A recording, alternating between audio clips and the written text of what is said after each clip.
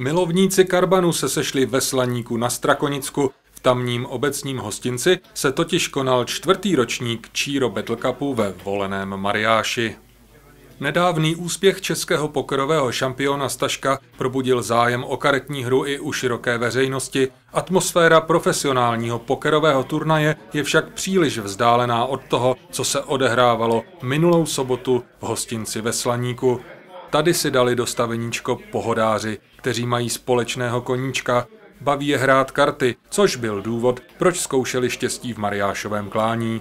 Ke stolům postupně usedali trojice soutěžících a jak plynul čas, bylo víc a víc zřejmé, kdo z hráčů se nakonec propracuje až k závěrečnému vítězství. Na regulérní průběh karetního turnaje po celou dobu dohlížel Petr Švihovec, který nám také vysvětlil povahu této nevšední akce. Náš turnaj se nezapočítává do žádných uh, ligových turnajů, je to dá se říct vyloženě uh, místní srandamáč.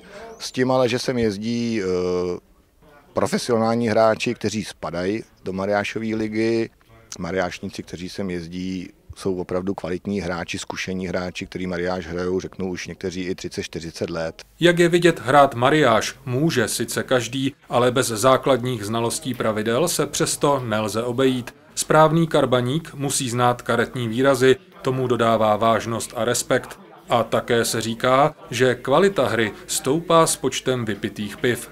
Při hře mariáž se používají takové výrazy jako battle, durch nebo stovka. Battle je taková hra, při níž nesmí uhrát ani jeden štych, což je docela složitá situace. Číro Battle Cup pořádá ve Slaníku Petr Švihovec od roku 2010. Letos se zapsalo 18 účastníků, pro každého byl připraven vynikající guláš a pro první tři hráče také finanční odměna. Nejlepší mariášník si domů odnášel výhru 1500 korun.